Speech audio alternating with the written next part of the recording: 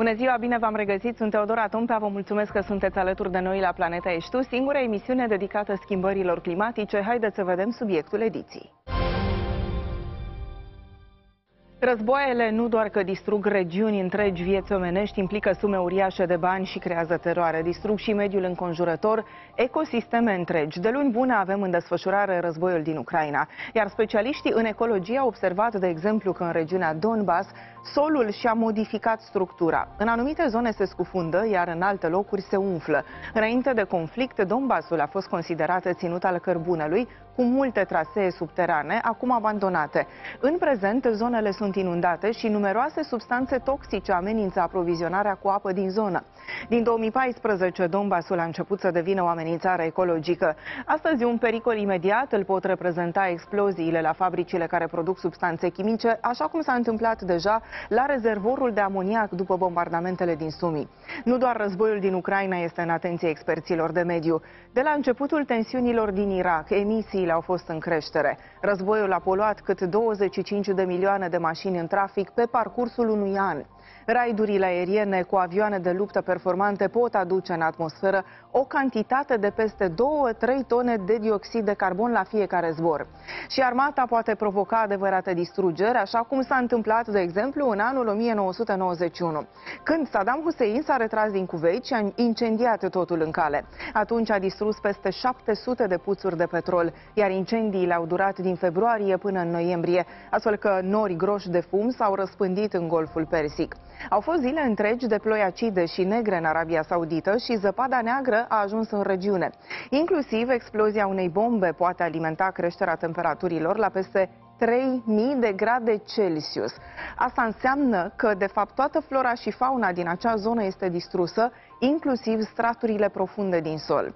Minele sunt și ele un pericol chiar foarte mult timp după încetarea ostilităților, pentru că duc la crearea unor regiuni întregi care devin inaccesibile ani de zile. În 2004, un studiu arăta că peste 80 de țări sunt afectate de mine și bombe, în timp numărul s-a redus însă insuficient.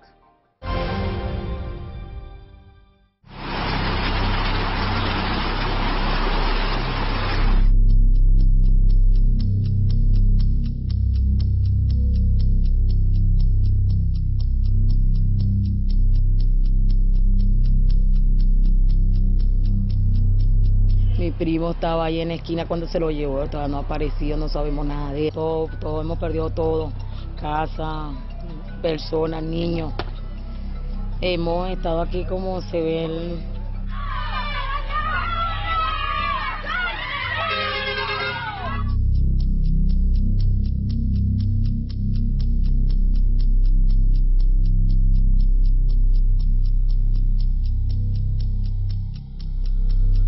tantos años en este pueblo, entonces nos conocemos, un pueblo pequeño, uno se conoce mucho. Y así, pues, entonces estamos socavando a ver si es que está aquí o no está aquí.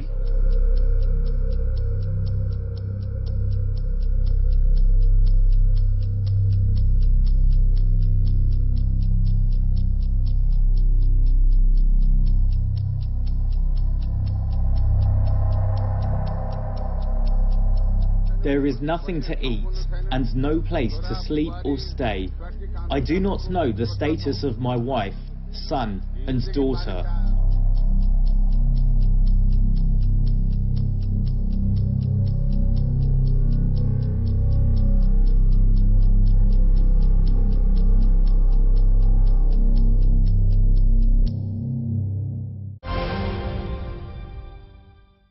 Ceea ce seamănă cu un scenariu de film SF despre viitorul planetei ar putea deveni realitate, arată un studiu recent realizat cu ajutorul unei supercomputer. Oceanul Pacific ar putea dispărea, iar locul lui va fi luat de Amasia. Este numele primit de un supercontinent care ar rezulta din ciocnirea continentului american cu cel asiatic.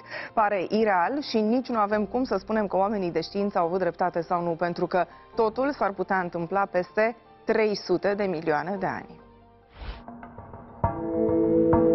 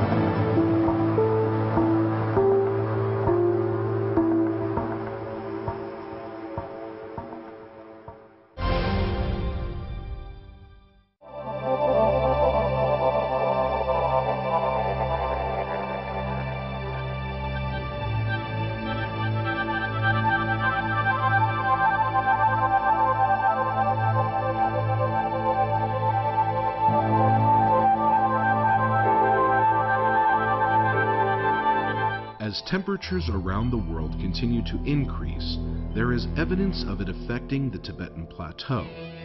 The region is heating up twice as fast as the global average.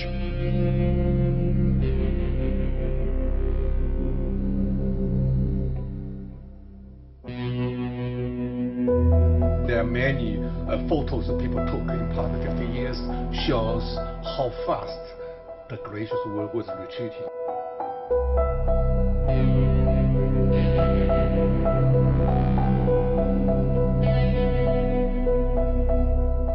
Ten rivers originate from the Tibetan Plateau and stretch all across Asia.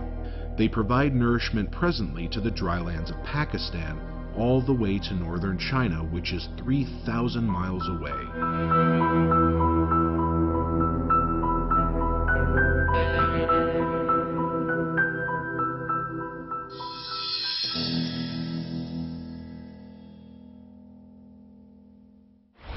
Al treilea pol al Pământului, așa cum a fost numit platoul tibetan, a fost puternic afectat de schimbările climatice, care au dus la topirea ghețarilor. Cu explicații despre cât de gravă este situația acolo și care este impactul la nivel global, vine acum invitatul permanent al emisiunii Planeta Ești Tu, Bogdan Antonescu, expert în fenomene meteo extreme. E un impact destul de mare pentru că regiunea respectivă funcționează ca un rezervor de apă pentru multe zone învecinate, multe țări din, din zona uh, platoului Tibet și atunci este impactul schimbărilor climatice este extrem de mare în această regiune. Cum spunea și mai devreme, faptul că avem o încălzire mai accelerată decât, decât media globală. De altfel, în literatura de specialitate, zona aceasta este denumită turnul de apă al, al Asiei și e destul de mult studiată. E adevărat, e o regiune în care greu se pot face studii, um, dar a fost studiată începând cu anii 60-70. De curând, acolo a fost o, de curând în 2017, adică a fost o expediție care a încercat să analizeze mai în detaliu ce se întâmplă cu, cu schimbările climatice. Și atunci, faptul că crește temperatura medie globală are un impact imediat asupra ghețarilor. Și prin râurile, rețeaua de râuri din zona respectivă, atunci asigură o sursă de apă pentru și o populație undeva estimată la 1,7 miliarde de locuitori. Și este foarte important, pe de-o parte, de studiat și de înțeles ce se întâmplă în zona respectivă. Problema este că nu știm foarte clar ce se întâmplă. Asta pentru că, uh, practic, regiunea era într-un echilibru între atmosferă și hidrosferă, adică uh, gheața din ghețari era în echilibru cu apa aflată în stare lichidă în lacuri și în, și în râuri. Și atunci, odată cu schimbările climatice, Criterii se topesc mai repede, însă acumulează, toată apa aceasta ajunge în lacuri care sunt închise și care nu se varsă mai departe. Și atunci cumva apa este blocată, uh, blocată mai departe, ceea ce în viitor pare să aibă un efect foarte mare. Iar proiecțiile făcute cu, cu modele climatice globale arată că, de fapt, ceea ce observăm în prezent, acest dezechilibru între faza de gheață și faza lichidă a apei, în zona respectivă o să fie exacerbat în viitor. Și atunci, uh, în zona respectivă, probabil regiunile nordice vor fi mai bogate în apă, cum, cum sunt râurile care merg către China, iar regiunile sudice, cum e râul Indus, de exemplu, o să aibă un deficit de apă și atunci o să afecteze o populație destul de mare. Și evident, totul e legat de schimbările climatice, dar și de modul în care se schimbă structurile la scară mare sau circulația râului la scară mare uh, în zona respectivă, din nou asociată cu, cu schimbările climatice. Importanța ghețarilor este una semnificativă. Este una semnificativă pentru că, pe de-o parte, este o sursă de, de apă dulce, pe de altă parte acționează și ca un fel de, de tampon între, um, eu știu, topirea din timpul, dacă avem precipitații destul de ridicate într-o anumită perioadă a anului, ele nu o să ajungă imediat um, către suprafață să producă inundații, pentru că vor trece și prin, prin această fază de gheață, vor cădea sub formă de, de ninsoare, de exemplu. Și atunci, dacă dispar ghețare, dacă temperatura medie sau se reduce din cantitatea de, de apă sub formă de gheață din zona respectivă, întreg circuitul este, este perturbat. Și atunci uh, e posibil să ai o topire mai, mai, mai devreme în timpul primăverii, dar apoi, de-a lungul verii, debitul râurilor nu mai este așa de mare și atunci, din nou, apar probleme pentru populația respectivă. Mașinile pe care le conducem reprezintă cea mai mare sursă de poluare pentru oceane, deși poate părea ciudat. Nu scurgerile din petroliere, conducte sau de pe platforme reprezintă principala problemă.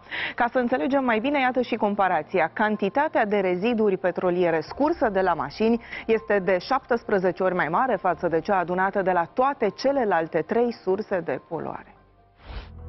All over the world, rivers and streams flow into the oceans, polluting them as well as the animals who live in them.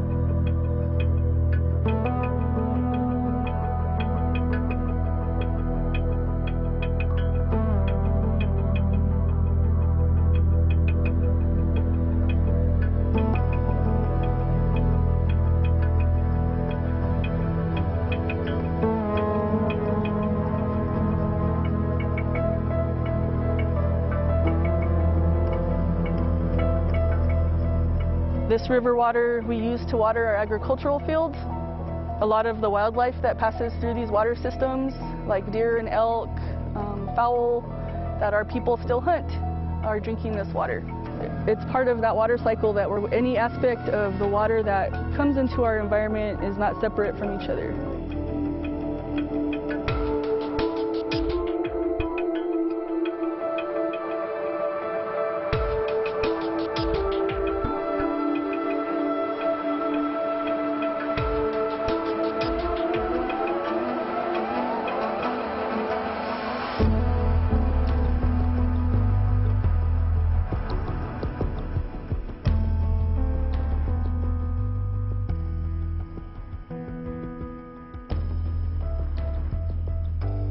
Overall, the bay is pretty sick. It's, it's, not, it's not saved. Um, we, we know how to do it, but we still have a ways to go.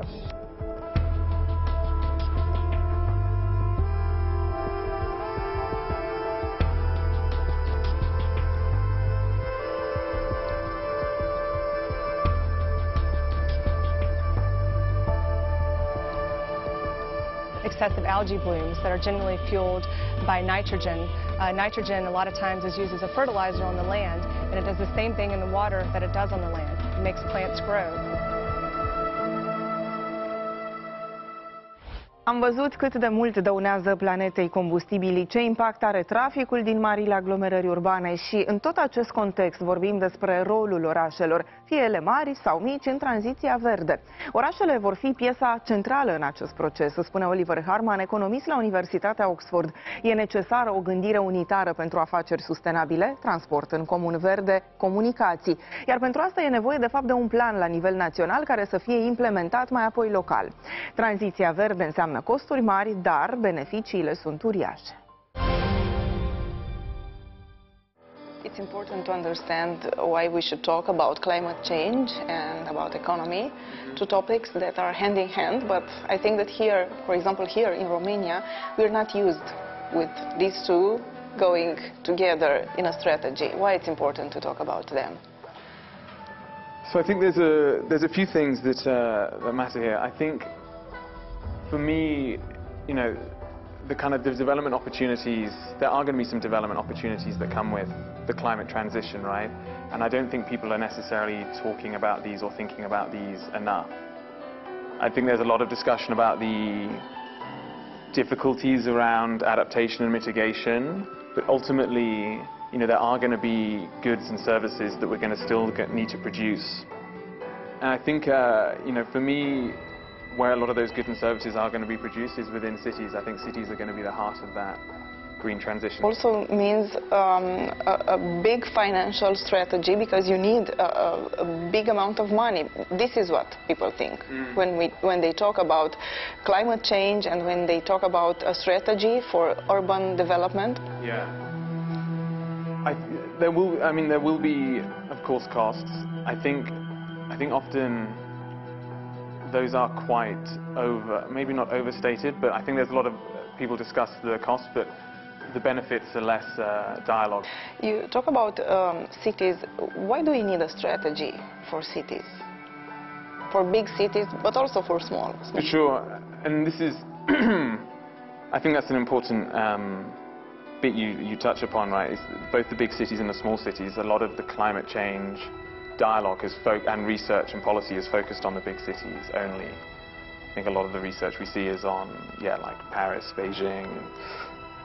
And we forget that actually a lot of the growing population and a lot of the existing population lives in these kind of secondary cities. So we need these kind of policies for them as well. And I think there's, there's an aspect here that you know, cities are good places for adaptation and mitigation to climate change. I think you know, often people, you'll hear this stat that 75% of greenhouse gases are contribute, uh, you know, associated with cities.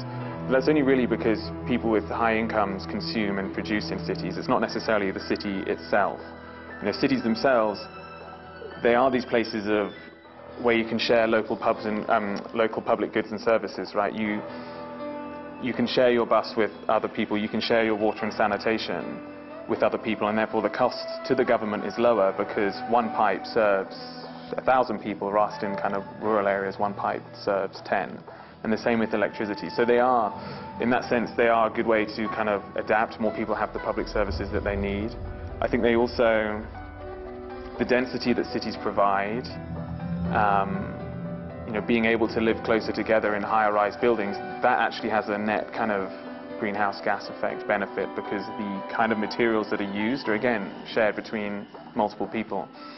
And we kind of forget this aspect when we just think, oh, cities are where energy is consumed, but actually per capita it is much lower. And I think the final thing there is, you know, the classic uh, on public transport. I think in secondary cities or in smaller cities, you know, a lot of people still drive and there's quite a high emission related there, but when you bring people together, when you bring that proximity, I call it kind of the promise of proximity. When you bring people together in that way, you can you can share things like public transport, which ultimately has a, you know, it is it is a it is a high carbon kind of. Um, so transport is kind of a high emitting thing we do, and if we can share that within a amongst each other, there's kind of yeah, of course, there's going to be a mitigation in the long term. A lot of people talk about electric vehicles as this way forward.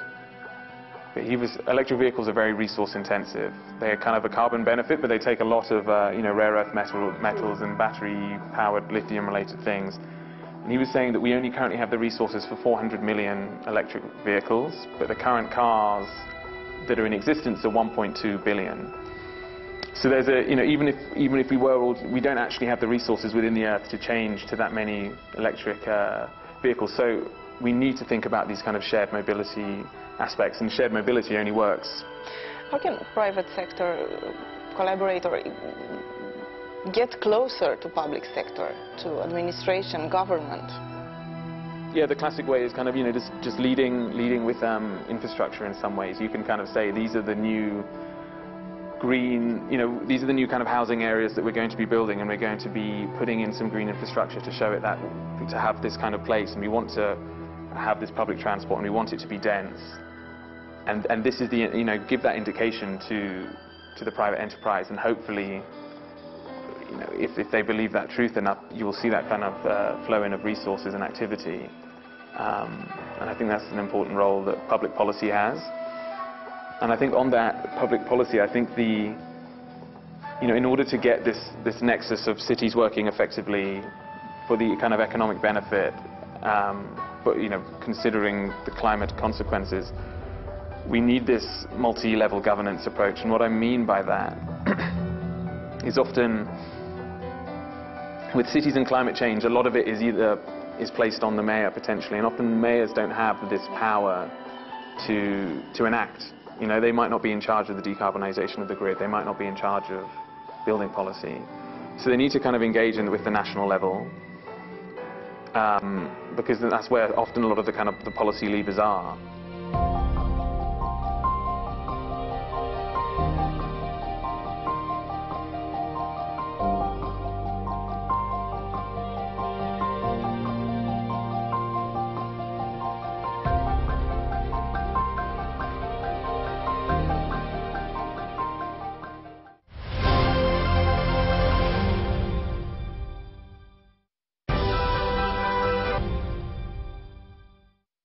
Când facem curățenie acasă, trebuie să ne gândim și la mediu, nu doar la locuința noastră, pentru că de cele mai multe ori curățenia în locuințe înseamnă murdărirea planetei. Așa că folosiți pe cât de mult posibil soluții de spălat ecologice și în acest fel vom proteja mediul. Iată acum câteva variante într-un nou episod despre schimbările pe care le putem face pentru apărarea planetei de poluare. My vacuum is a second-hand bagless vacuum. That has been the option I've found to be the most sustainable. You can obviously also just use a broom, but I just have so many rugs that a vacuum is by far the easiest option here. For me, it was very important that the vacuum was bagless. That way, I don't have to buy disposable vacuum bags. Now for my next trick, I have to clean off every surface in the house, windowsills, tables. I'm gonna take my bulk cleaning detergent and dilute it with water. Then we have a cloth towel. This is made from cotton, so it doesn't release microplastic. And um, that's the solution. Easy. We still do lots of dishes by hand and we have bulk dish soap. I have been using this uh, bottle for ages, the pump as well. Um, this is absolutely amazing. And then we have two dish brushes, one for just rinsing off and one for actually cleaning. And then we use thrifted cotton towels to dry them off. We don't need disposable kitchen towels, never really use them in our cleaning routine, everyday life, etc. We don't use them at all.